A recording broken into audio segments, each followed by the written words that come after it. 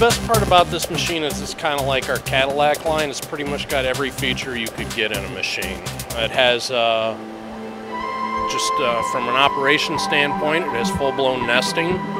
The operator can download an Excel spreadsheet of the list of parts they want to make, and the machine will process that information and figure out the best material utilization. Machine also has uh, tool probes for automatic tool setting, so all the operator has to do is bring the tool down to the probe, it touches them off for them.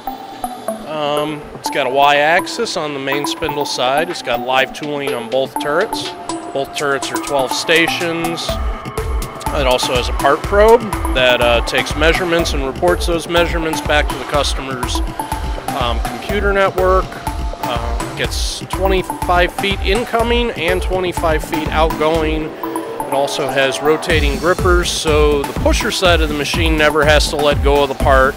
It also provides extra support once the material comes off the table and it gets inside of the machine, inside of the spindle. It also has, on the puller side, it uh, can also reach all the way inside the machine. So that gripper all the way over there can reach almost to the main spindle, so it helps in aiding, helps transferring the part. It's a lot smoother than any of our machines previously.